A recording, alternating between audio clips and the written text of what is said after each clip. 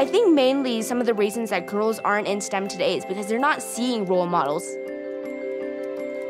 It's important that more people are put out there to empower girls, and I'm aiming to be one of those people. My math level is higher than what the standard eighth grade math level is. And the reason for that is because I started early with Kumon. When I came to Colorado, even though I still wasn't a student at Kumon, I still had that passion and connection with helping other students gain a solid foundation in math and reading like I had. I pretty much live there now. Every Mondays and Thursdays after school, I go to Kumon, and I spend most of my summers there too, working with a lot of students. I started Kumon when I was three and a half, there were a lot of times between D and G where I was like, yeah, this is not for me. I really don't want to do this. But then I got back up and realized that if I quit now, I'm never going to be able to get through this. I really, really wanted to push through long division. It gave me a sense of persistence and setting goals for myself. Once I started to get into the swing of things, start learning new topics, it kind of came to me hey, you know, I think I'm getting the hang of this.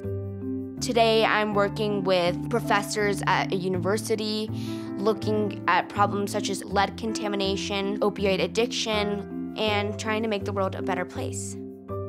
One of our family friends had gotten into an accident and started to take opioid drugs and become addicted to it. I decided that I wanted to create a way to diagnose opioid addiction at an early stage. What I wanted to do is look at some of the more biological portions of this protein detection systems, as well as the human genomic structure, what happens in our genes that controls opioid addiction. I created a device named Epione, which diagnoses opioid addiction at an early stage. It was just absolutely amazing to get that email at 4 a.m. in the morning that I was selected as one of Forbes 30 under 30. It's definitely something that I've been dreaming about. I love science, so my parents have always done whatever's best for me so that I can continue on my passion of science.